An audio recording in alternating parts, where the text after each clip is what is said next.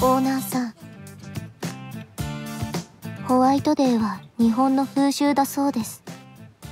お菓子をもらえる風習。ふむ。興味深いです。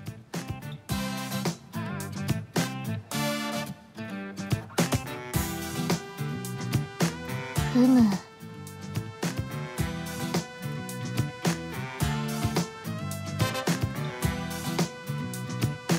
ふふ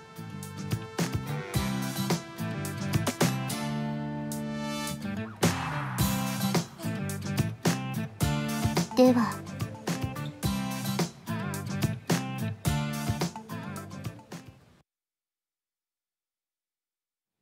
オーナーさん？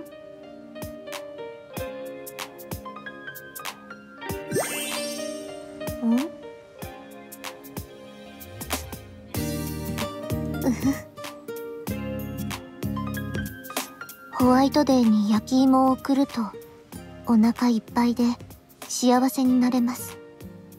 これは流行る。